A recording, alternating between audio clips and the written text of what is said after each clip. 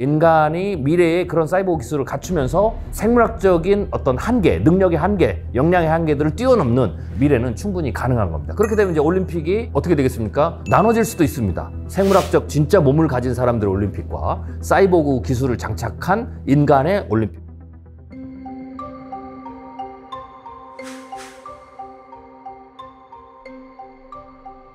일단 많은 분들이 이제 인공지능을 생각할 때 가장 크게 두려워하는 것이 직업의 대소멸이다. 뭐 이렇게 이제 생각을 하는데요. 실제로는 직업의 대소멸이라고 표현하는 것보다는 직업의 대이동.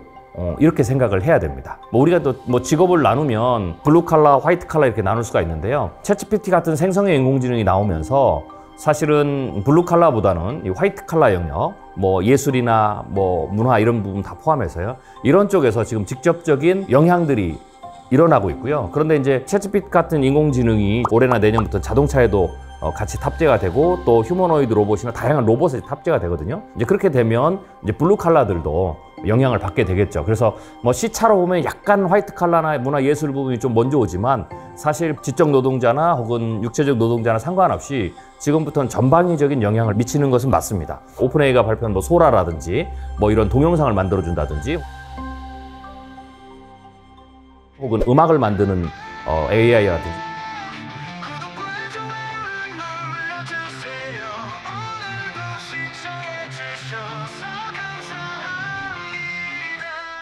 사람들의 관심을 많이 끌고 또 어, 호기심이 이제 커지죠. 이제 그렇기 때문에 이제 그런 부분들이 이제 강조가 되기는 하지만 사실은 그것도 뭐 약간의 시차만 있지 뭐 예술 분야가 먼저 영향을 받는다 뭐 이렇게 이제 말할 수는 이제 없습니다. 그래서 대동소이하게 영향을 받는다라고 일단 보시면 될 것 같고요. 그런데 제가 이제 방금 말씀드린 것처럼 모든 직업에 영향을 받다 보니까 어, 수많은 직업들이 사라지고 대소멸되는 그러한 일이 벌어지지 않을까라는 우려가 굉장히 큰데 어, 사실은 그렇지 않습니다. 왜냐면 제가 이제 굳이 설명을 하면 생성형 인공지능 챗GPT라든지 구글 제미나이라든지 클로드 3 뭐 이런 거 혹은 네이버의 이제 클로바X 이런 것들 제가 사용해서 어떤 이제 프로젝트를 하고 있냐면요 웹툰 프로젝트를 하고 있어요. 내가 웹툰 작가가 되려면 이제 두 단계로 나눠져야 되거든요. 하나는 이제 말 그대로 웹툰의 스토리를 만들어야 되겠죠. 그래서 글을 쓰는 거죠. 글을 자기가 구성하고 뭐 인물도 만들고 어, 그다음에 배경도 만들고 그다음에 플롯도 만들고 사건도 만들고 막 이 만들어진 스토리를 그대로 이제 웹툰 이라는 플랫폼으로 집어넣어서 이제 완성하는 거죠. 이 전 영역의 단계를 생성형 인공지능을 가지고 하는 방법들을 제가 이제 아, 연구하고 지금 만들고 있는데요. 이걸 시도하게 된 이유가 좀 있는데 생성형 인공지능을 2022년 11월 30일부터 나왔을 때부터 제가 한 1년 반 정도 연구하면서 이 생성형 인공지능을 제 연구 방법론에 혹은 제가 글을 쓰는데 다양한 좀 써봤어요. 그러면서 어, 주로 이제 저 같은 경우는 예를 들면 어떤 걸 쓰냐면 챗 GPT에 들어가면 그러니까 GPT스라는 게 있어요. 그러니까 자기만의 GPT를 만드는 거거든요. 저는 이제 어떤 거냐면 그걸 가지고 책을 만듭니다. 내가 금융 공부를 한다, 경제 공부를 한다. 그러면 아담 스미스의 국부론을 읽는다. 그러면 과거에는 아담 스미스의 국부론을 내가 가서 서점에 가서 사서 읽었는데요. 이제 지금은 그렇게 하지 않으셔도 됩니다. 내가 공부하는데 도움이 되는 챗봇을 만들 수가 있어요. 뭐 예를 들면 이런 거죠. 너는 세계에서 가장 뛰어난 아담 스미스 국부론 전공자다. 라고 이제 role을 주고 네가 나에게 지금부터 아담 스미스의 국부론을 가르친다. 마치 국부론을 잘 가르치는 교수님이 와서 그걸 쭉 가르치는 것처럼 그런 방식으로 아담 스미스 국부론을 배우고 난 다음에 갑자기 무슨 생각이 드냐면 어, 좀 시간이 지나면 사람들이 이 방식을 알게 되면 책을 많이 안 읽겠다. 지금도 뭐 유튜브도 있고 쇼츠도 있고 막 이래가지고 많은 사람들이 페이퍼 책을 특히 젊은 사람들 안 읽잖아요. 그래서 미래에는 더 안 읽겠다라는 생각이 갑자기 들었어요. 그래서 제가 곰곰이 생각하다가 작가로서의 제가 연구한 컨텐츠를 많은 독자들이 읽게 하는 게 목적인데 지금까지는 종이책이라는 거 혹은 그것을 e-book으로 만드는 디지털 책 이 정도였는데 앞으로는 채널을 다양하게 해야 되겠다. 하나는 종이책, 뭐 e-book 그리고 저 같은 작가들도 시나리오가 있으니까 제가 생각하는 인공지능 시나리오를 제가 웹툰으로 만들어서 독자를 만날 수도 있겠다라는 생각이 들어서 제가 이제 그걸 개발한 거거든요. 그러다 보니까 사실 성능이 굉장히 뛰어납니다. 그러면서 제가 느낀 게 뭐냐면 아 웹툰 작가가 큰 위협을 받겠구나. 나 같은 사람도 전혀 웹툰을 그리지 못하는 사람도 챗GPT를 통해서 얼마든지 배우고 만들 수 있다라고 생각이 되니까 실제 지금 그 활동하고 있는 웹툰 작가들은 굉장히 큰 위협을 느끼겠죠. 네, 그런 측면에서는 그분들은 직업에 굉장히 커다란 위협을 느낍니다. 그런데 중요한 건 뭐냐면 저의 입장에서는 글도 쓰고 웹툰도 하고 다양한 걸 할 수 있죠. 그러니까 생성의 인공지능 때문에 생성의 인공지능이 없었을 때의 고유한 직업들을 가지고 있는 그 전문적인 영역들은 전부 다 다 위협을 받습니다. 그런데 거꾸로 내가 영화를 만들 수가 있고 음악을 만들 수가 있고 또 내가 다뭐 다른 어떤 영역들을 광범위하게 할 수가 있죠. 지금의 전문 영역은 다른 사람이 생산력을 통해서 더 쉽게 접근해서 흔들리겠지만 나도 역시 거꾸로 내가 지금까지 하지 못했던 다른 전문 영역을 가게 되겠죠. 그러니까 이런 일이 전체적으로 일어납니다. 그래서 결국은 직업이 사라지는 것보다는 오히려 직업의 대변화, 대재편 혹은 새로운 어떤 직업 영역이 생기겠죠. 그러니까 그런 일들이 앞으로 벌어진다라고 생각을 하시면 됩니다. 그런데 이제 그렇게 생각하시는 많은 분들이 직업이 다 소멸되면 이제는 사람들은 할 일이 없어진다. 일자리를 잃는다. 라고 생각하는데 사실 그렇지 않다라고 생각하시면 될 것 같습니다.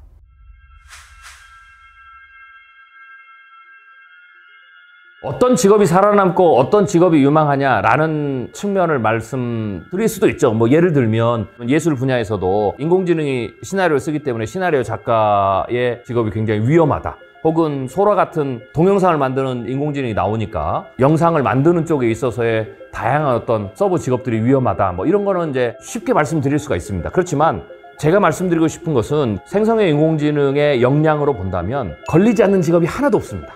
그래서 그렇게 보지 말고 제가 방금 말씀드린 것처럼 인공지능 기술을 앞으로 장착을 해야만이 내가 어떤 새로운 역량과 일을 하게 되는데 인공지능 기술을 잘 사용하지 않는 혹은 아예 사용하지 않는 사람의 직업이 위험한 겁니다. 어떤 특정한 직업보다는.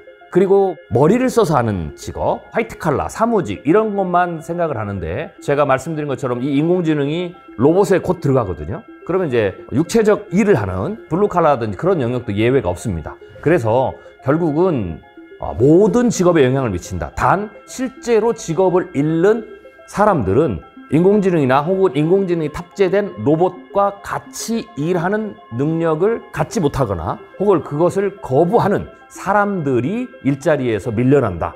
라고 생각하는 게 훨씬 낫습니다. 인공지능과 협업하거나 로봇과 협업하는 혹은 도구로 쓰는 데에 능숙한 사람들이 훨씬 더 더 좋은 직업을 먼저 만들거나 먼저 선점하게 되는 거죠. 사실 엄밀히 얘기하면 인공지능과 인공지능 로봇과 협업하지 않고는 안전한 직업은 하나도 없다. 그러나 협업하면 내 직업의 형태, 일의 형태는 과거와 달라지겠지만 나는 여전히 미래도 계속 일을 할 수 있게 되는 그러한 상황에 아, 들어갈 수 있게 된다라고 이렇게 생각하시는 게 훨씬 더 낫습니다.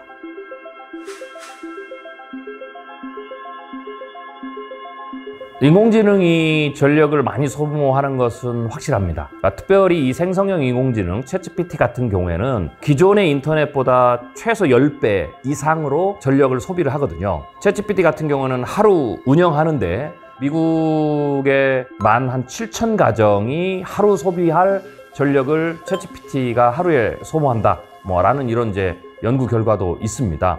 그래서 사실은 앞으로 더 많은 기업들이 아, 생성형 인공지능을 계속해서 개발할 거고 또 나름대로 장착을 하고 그렇게 되면 생성형 인공지능을 통해서 소비되는 전력량이 기하급수적으로 늘어나겠죠. 또 하나는 생성형 인공지능만 혹은 다른 인공지능에서만 전력을 그렇게 많이 소비하는 게 아니고요. 어, 앞으로 그거보다 더 많이 소비할 수 있는 영역들이 나옵니다. 예를 들면 전기 자동차도 굉장히 많은 전력을 소비할 거다라고 보시면 될 것 같고요. 또한 곧 나올 로봇 산업도 뭐 가정용 로봇이든 산업에서 쓰는 로봇이든 굉장히 많은 전력을 사용하겠죠. 그리고 이제 또 뭐 예를 들면 6G 통신 같은 경우에도 기존의 5보다 훨씬 더, 더 전력량을 많이 소모합니다. 꼭 인공지능뿐만 아니라 전기 자동차나 로봇이나 뭐 이러한 산업 영역들이 갈수록 전력량을 폭발적으로 증가시킨다라고 봐야 되겠죠. 이제 그러다 보면 이제 인간이 대응과 응전을 하겠죠. 그래서 그 방법은 단 하나로 되지 않습니다. 여러 가지 방법들이 좀 필요한데요. 인공지능 알고리즘을 활용해서 전기 사용 효율성을 높이면서 총 전력량을 줄이는 뭐 그런 어떤 시도들도 일어날 거고요. 또 하나는 요새 부각하고 있는 게 두 가지인데 하나는 원자로입니다. 아까 말씀 전기 자동차라든지 앞으로 나올 로봇이라든지 이렇게 어마어마한 전력량이 필요하거든요. 결국은 이 방대한 어, 전력량을 빠르게 공급하려면 원자력 발전이 현실적인 대안 중에서 가장 유력한 것 중에 하나인데 그렇다고 해서 대규모를 지을 수 없기 때문에 지금 나오는 게 소형 원자력 발전 뭐 이 부분이 지금 굉장히 관심을 받고 있고요. 또 하나는 과거에 사용 했지만 지금은 환경 문제 때문에 사용을 꺼려하는 이 석탄이라든지 이런 발전소도 저렴한 음, 가격으로 또 쉽게 혹은 또 기존에 있는 것을 다 되살릴 수 있으니까 그런 어떤 시도도 합니다. 또 하나는 뭐 우리가 뭐 기존에 전통적으로 기억하고 있는 친환경 에너지 뭐라고 할 수가 있겠죠. 뭐 태양열이라든지 풍력이라든지 뭐 이런 게 있는데 이제 문제는 그런 친환경 에너지는 단가가 굉장히 많이 아, 든다라고 볼 수가 있겠죠. 그리고 또 하나는 뭐 결국은 가장 많이 쓰는 것 중에 하나가 석유 에너지를 가지고 전기를 생산하는 방법들을 좀 써야 되겠죠. 그래서 제가 보기에는 어떤 특정한 하나가 아니라 다방면에서의 에너지의 사용, 발전 방식의 사용이 어, 될 것이다 라고 보면 될 것 같고요. 그래서 경제적으로 보면 오히려 그런 어떤 에너지 산업들이 성장함으로써 어, 이런 인공지능이나 로봇이나 전기자동차 서로 시너지를 일으킬 거다 라고 보면 될 것 같습니다. 그렇지만 국제적으로 본다면 에너지에 대한 쟁탈 혹은 에너지를 만들 수 있는 원자재에 관한 그런 부분에 대한 어떤 경쟁들이 굉장히 심해질 수 있다라고 볼 수가 있겠죠.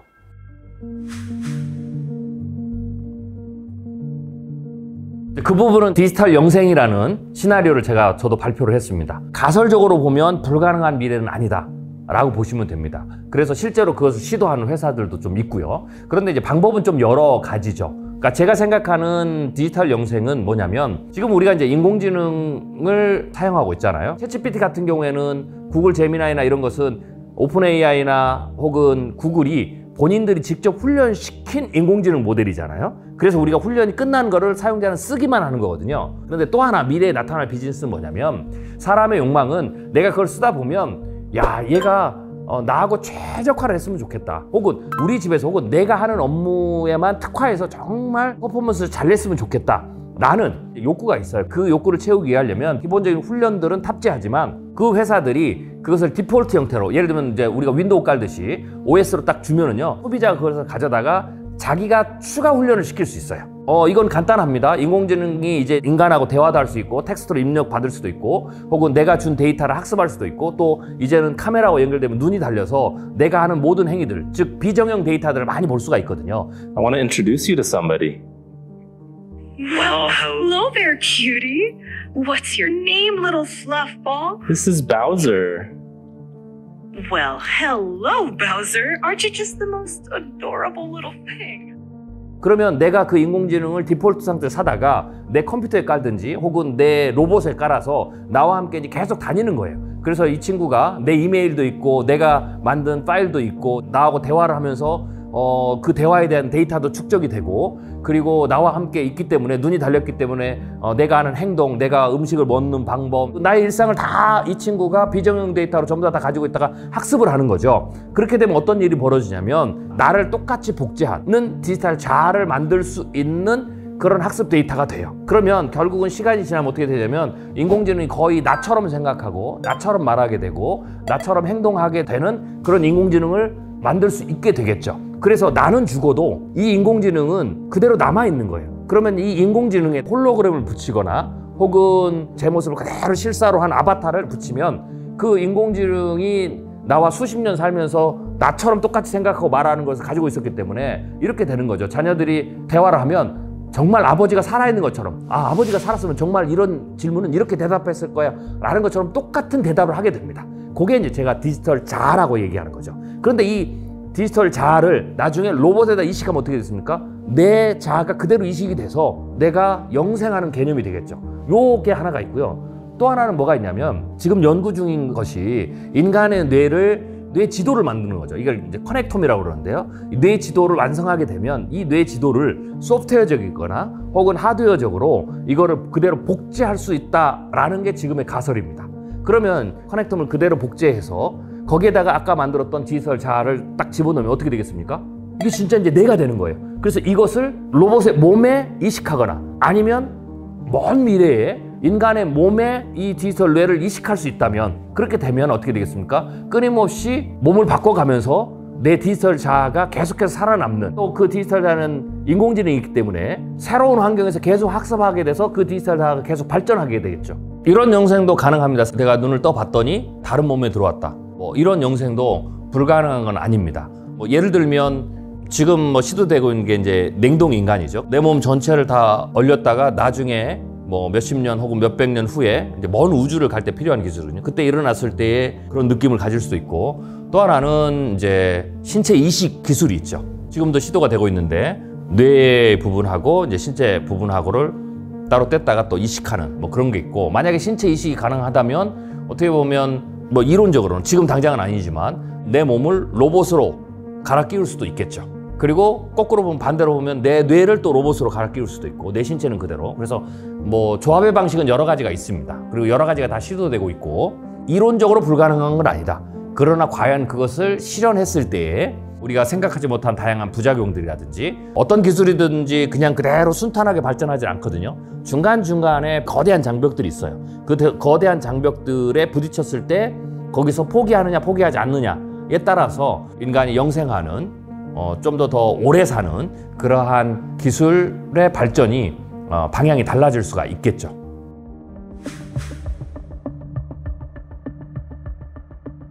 또 많은 분들이 관심을 갖는 게 사이보그 기술이거든요. 지금 사이보그 기술은 이렇게 보시면 됩니다. 처음에 시도되는 것은 장애를 가지신 분들이 교통사고나 불의의 사고로 내가 팔을 잃거나 다리를 잃은 분들이 지금은 의수 우족을 끼거든요.